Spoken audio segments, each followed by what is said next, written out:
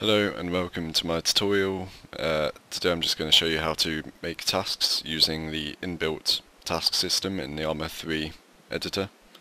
Bear in mind this is obviously an alpha, so things will change as time goes on. I want to make this as streamlined as possible and as simple as possible for you to follow. So to begin with, just change your editor's layout to traditional, like so this is just so you have the same layout I do and keeps everything consistent. So double click on the map, create a player and click OK. Part 1 done. Press F7 or click on the modules tab, double click, under Intel, create task and name the task ID task 1. These have to be unique so task 1 is unique at the moment. Title kill civilian. In the description I want to add more detail on how to kill him. So shoot him in the head. Click OK.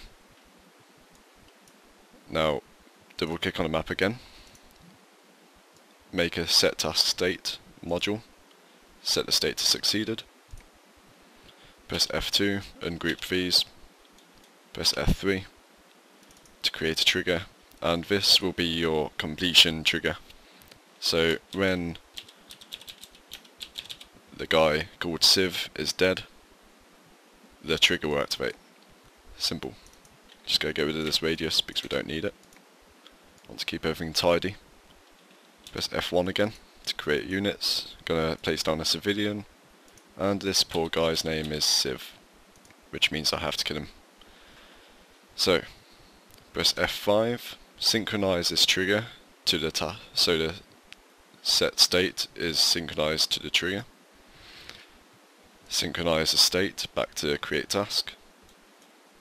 And synchronize the create task back to the player. Simple.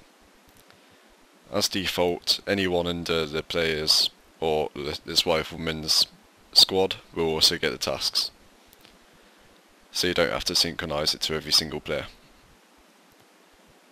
Now, this is extremely simple. This is all you need to do to create a task. Now, some more bonus things. Press F7 again, double click, and set task destination. Destination as a module position, click OK. Ungroup it by pressing F2 and click and drag away. Press F5 and synchronize this with the create task module.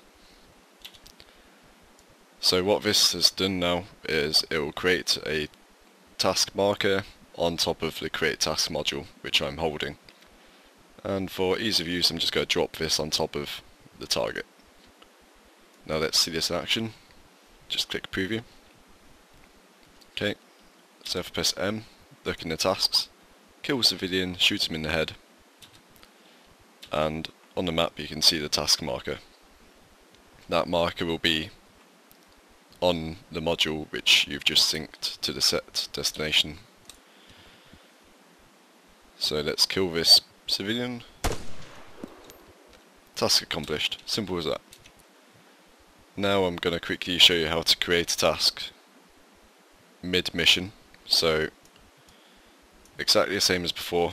Click, it, press F7 create task, task ID, task 2, title, run to fire, description, get to fire, click OK, create, make another task state, succeeded, click OK, and group them, create another trigger, this time I'm going to make it so it's activated by BLUFOR in a 5x5 area. I'm going to place down a object. So that's the fireplace. So like before, F5, synchronize the trigger back to the task state. Synchronize the state to the create task. And synchronize the task back to the player. Except this time, as well as that, I'm going to synchronize this trigger with the module. So when this trigger is triggered by killing the civilian, not only will it complete this, this task, but it will activate this task. So I'm going to show you what I mean. So in the tasks menu, no second task as of yet. So let's go ahead and kill this poor civilian.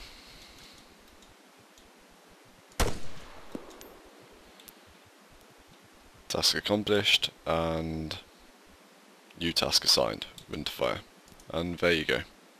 It's now available in the tasks. So I'm going to run to the fireplace.